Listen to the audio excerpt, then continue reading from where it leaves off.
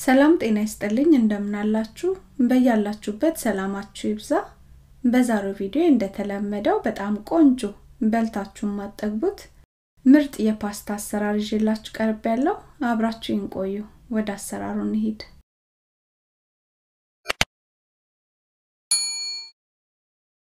ፓስታውን ለመስራት የተጠቀምኩት ፓስታ ነጭ ሽንኩርት የባሮ ሽንኩርት parsley የወይራ ዘይትና ጨው ናቸው ሶስት የባሮ ሽንኩርት አጥቤ አዘጋጅቻለሁ። አንድ ራስ ነጭ ሽንኩርትና ከ parsley ው ደግሞ ግማሹን አጥቤ አዘጋጃቸዋለሁ። እየተከታተላችሁኝ ከሆነ ከልብ አመሰግናችኋለሁ like comment ና share በማድረግ ማበረታታቱን አትርሱት። አመሰግናለሁ። ከአንድ ራስ ነጭ ሽንኩርቱ 11 ፍሬ ነጭ ሽንኩርቶቹ ወጥተዋል ለፓስታው ውሃ ጥጄ እየፈላ ነው። አንድ የሻይ ማንኪያ የሚሆን የወይራ ዘይትና አንድ የሾርባ ማንኪያ ጨው ጨምሬ ፓስታውን አስገብቼ አበስለዋለሁ። ጨውን አውቄ ነው በዛ ያደረግኩት የነጭ ሽንኩርቱን ቁሌት ስሰራ ጨው አልጨምርም። ፓስታው እስኪበስልልኝ ድረስ አትክልቶቹን ከትፌ ያዘጋጃቸዋለሁ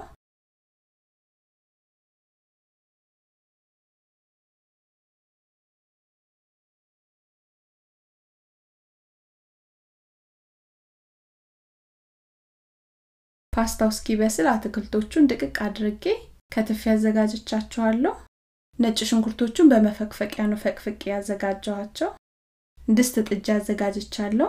አንድ የሾርባ ማንኪያ የሚሆን የወይራ ዘይት አደርጋለሁ። ዘይቱን እናንተ ባላችሁ ወይም የመረጣችሁትን ዘይት ተጠቅማችሁ ስሩት።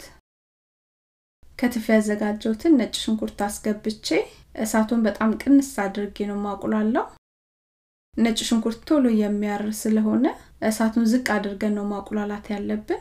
ነጭ ሽንኩርቱ ከዘይቱ ጋር ሲቁላላ ሽታው ራሱ በጣም ነው ደስ የሚለው። ፓስታውም ልዩ ጣዕም ነው የሚኖረው።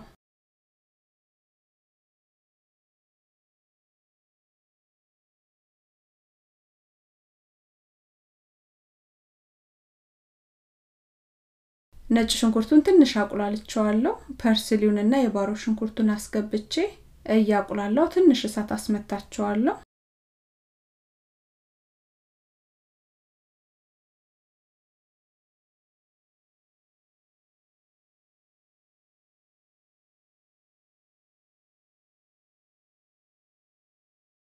ከጎን የቀቀልኩት ፓስታ በስሏል።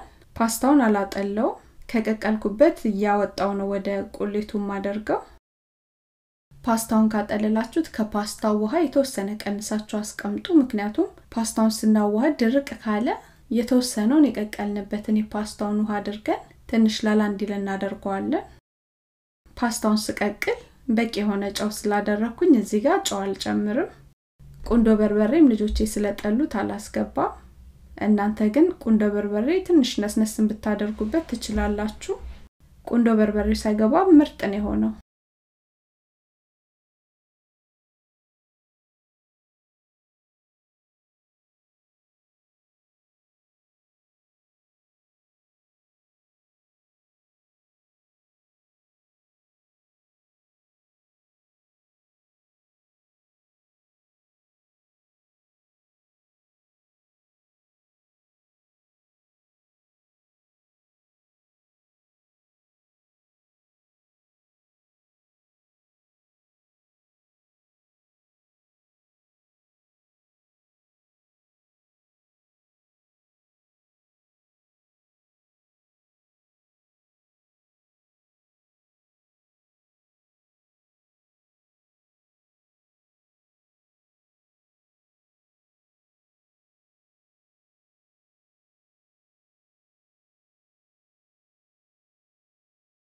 በጣም ቆንጆ ጤናማ የፓስታ አሰራር ነው። ለልጅ ላዋቂ ለሁሉም ይሆናል። ሰርታችሁ ሞክሩት በልታችሁ አጠግቡትም። አብራችሁኝ ስለነበራችሁ ከልብ አመሰግናችኋለሁ። በሌላ ቪዲዮ እስክንገናኝ ሰላም ሁኑ። ቻው